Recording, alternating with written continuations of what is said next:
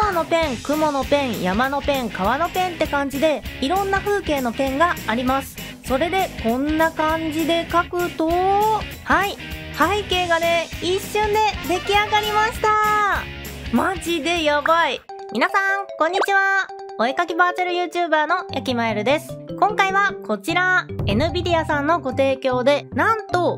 AI が一瞬で背景を描いてくれる NVIDIA Canvas というパソコン用の無料の紙アプリをね、紹介したいと思います。これね、実は僕出た時にね、当時ニュースで知って、すっごーいって思ったアプリなんです。だって、これがこうなるんですよ。やばくないですか？しかも、このアプリで作った画像、なんと、フリー素材です。商用利用可です。イラストの背景とかに自由に使って OK なんです。これはね、めちゃくちゃすごい。長々と説明していてもなんなので、早速ね、実際に使ってみたいと思います。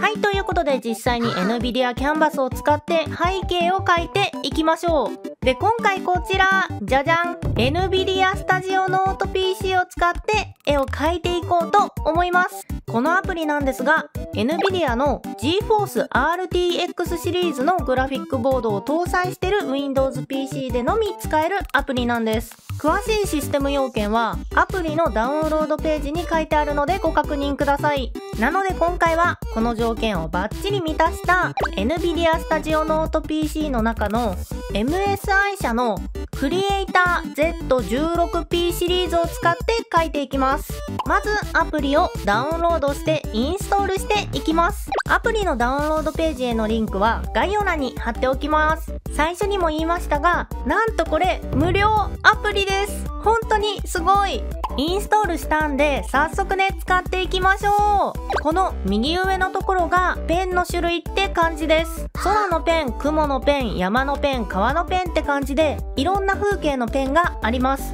それでこんな感じで書くと、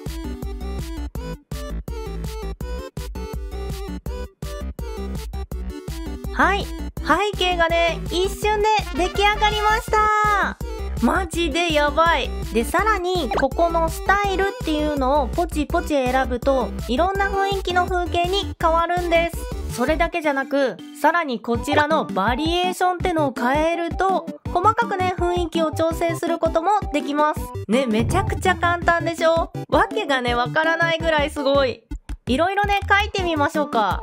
じゃあ次はね、山を描いてみましょう。塗りつぶしツールを使ってね、今回は楽しちゃいます。おー、すごい山がね、簡単に出来上がっちゃいました。ちょっと形がね、尖りすぎてるので、消しゴムツールで整えていきます。雲を描いたら、おー、すごい背景が出来上がった。じゃあ次は海を描いてみましょうか。海のペンで海を描いて、砂浜を描いていきましょう。おー、一気にそれっぽくなりました。島とかもね、描いてみましょうか。最後に雲を描き加えて、おー、砂浜の完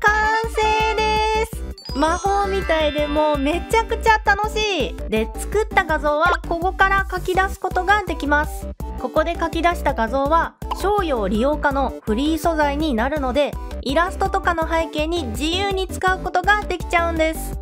このアプリを使えばいくらでも自由自在に背景素材を生み出すことができちゃうんです。ただイラストの背景に使う時はちょっとねこのままだとリアル感が強いので僕のおすすめとしてはぼかして使ったりイラスト風に加工して使う。あとはね素材として使う。フォトバッシュやね写真合成などにね使うのがいいのかなって思います。フォトバッシュとか写真合成とかは知ってる人だけふむふむってね思ってくれれば大丈夫です。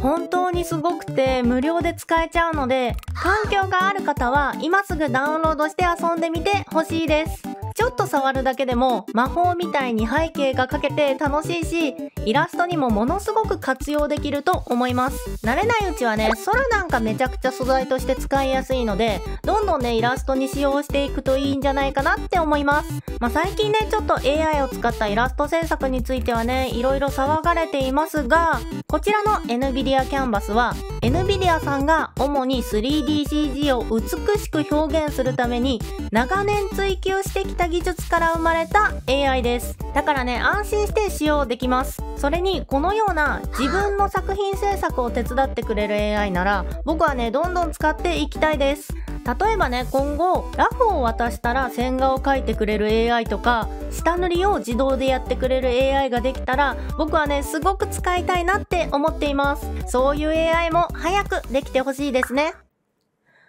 はい、ということで NVIDIA Canvas 紹介してきたんですが、ちょっとね、ここからは僕の動画制作の裏側を少しお見せしようかなと思います。今回使用したパソコン NVIDIA Studio Note PC あるじゃないですか。これ NVIDIA Canvas アプリが使えるだけじゃなく、実はクリエイター向けのすごいパソコンなんです。絵を描いたりはもちろん YouTuber とかやりたいなって思った時にすごくおすすめなパソコンです YouTuber の作業って動画を撮影して編集して投稿したりあとは配信とかねすると思うんですけどパソコンのスペックが低いと全く動かなかったり、動画制作とかもね、すごい時間がかかって大変なんです。でも、このパソコンだったら、そういうのが一通り行える、プロ並みの制作環境が簡単に手に入っちゃうんです。なので、せっかくね、そんなすごいパソコンが手元にあるので、その凄さをお見せするために、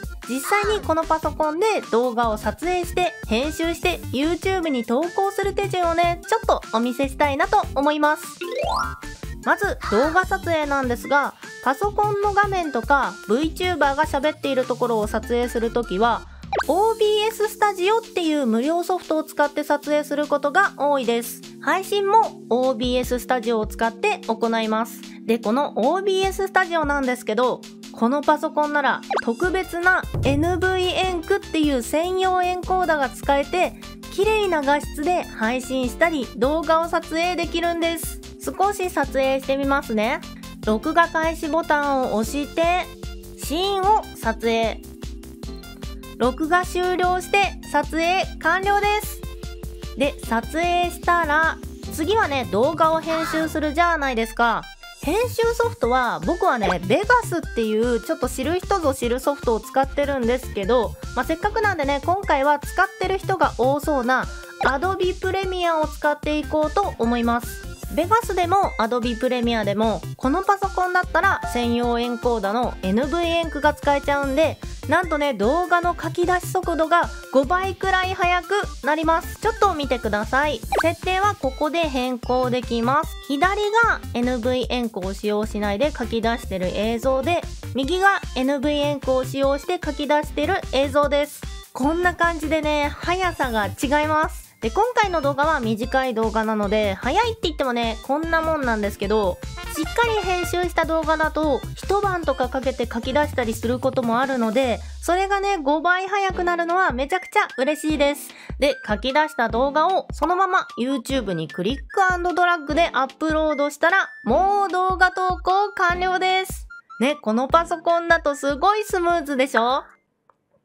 で、さっき使ってみた NVENC っていう専用エンコーダーは別にこのパソコンしか使えないっていうわけじゃなくて対応した NVIDIA 製のグラフィックボードのパソコンなら使えます。もちろん同じような速度や画質を期待するなら同等以上の PC スペックが必要です。まあ、ただね、グラフィックボード PC スペック何それよくわからないっていうね、パソコン詳しくない方は、こちらの NVIDIA Studio Note PC を黙って購入すれば間違いなく YouTuber が始められると思います。ちなみに僕はね、NVIDIA 製のグラフィックボードのパソコンを使っているので、普段からね、NVENC をガンガン使って動画投稿しています。もちろん動画編集だけじゃなくて、イラスト制作や最近流行りの 3D なども大体動かせる強強なスペックを持ったパソコンなので、クリエイターを目指している方でいいパソコン欲しいなっていう方はね、ぜひチェックしてみてください。詳しくは概要欄のリンクから公式サイトをご確認ください。ということで、